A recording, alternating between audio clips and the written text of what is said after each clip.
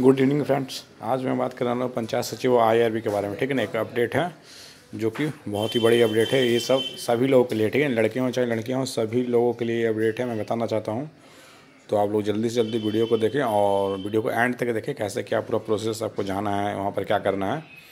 तो एक ये जो ट्रॉल हो रहा है आपका व्हाट्सअप पे फेसबुक पे, मैं देख रहा हूँ। तो आप लोग जो भी है अच्छा है, आप लोग जाएँ, ठीक है? तो यहाँ पर चलिए, मैं इसको पढ़ के थोड़ा बता देना चाहता हूँ। तो आप लोग देख सकते हैं, जैसा कि मैंने बहुत सारे भाई लोग समझ चुके हैं जो लोग नहीं समझे, कृपया देख सकते हैं, ठीक है? तो इसमें बताना चाहता हूँ कि देख सकते हैं, पंचायत सचिव और आयुर्वेद रिज़ल्ट का इंतज़ार कर रहे हैं सभी छात्र। लोगों से कहना है कि हमारे जे एस द्वारा पंचायत सचिव और आई का लिया गया एग्ज़ाम एक साल से ज़्यादा समय हो चुका है, ठीक है? और अभी तक इसके रिज़ल्ट भी जारी नहीं हुआ है, जबकि इसमें फिर दूसरा परीक्षा स्किल टेस्ट होना है और लोकसभा चुनाव को लेकर अगले महीने में आचार संहिता भी लगने वाला है। ये तो सही बात है। अतः इस चुनाव के चक्कर में हमारा भविष्य खतरे में पड़ सकता है। इसलिए आप सभी कैंडिडेट से कहना है कि छः फरवरी को झारखंड एसएससी ऑफ़िस रांची चलना है ताकि हम अपने हक के लिए एक शांतिपूर्ण वार्ता साथ होकर आवाज़ उठाएँ और इसके लिए हमें जो कुछ करना पड़े इसके लिए भी तैयार रहना होगा। क्योंकि बहुत हो गया, अब हम बर्दाश्त नहीं कर सकते हैं। सब्र का बाँध टूट गया है।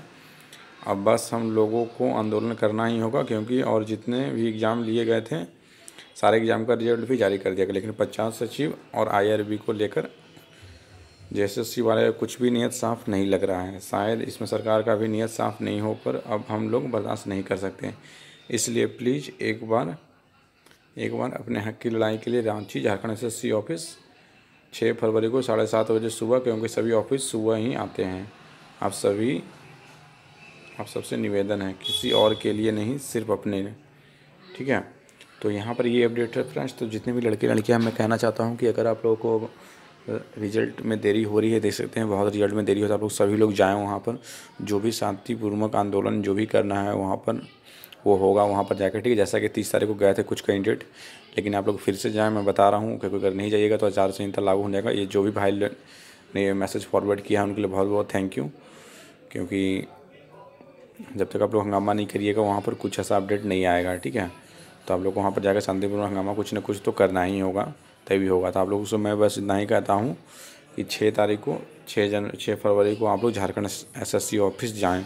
लड़के हों चाहे लड़कियाँ हों, कहीं के भी हों, मैं बता रहा हूँ, जितनी दूर से रांची वाले तो जाएँगे ही जाएँगे, जो हजारीबाग से हैं, गुमला से हैं, गढ़वा से हैं लोहरदग्गा से हैं, खूंटी से हैं, वो सब भी जाएँ, कोडरमा, हजारीबाग, देवघर, दुमका, धनबाद जहाँ से भी कैंडिडेट है, साहेबगंज, बिहार का भी कैंडिडेट है तो वो भी जाए, नवादा से हैं, पटना से हैं, आरा से हैं, छपरा से हैं, जहाँ से भी भागलपुर से हैं।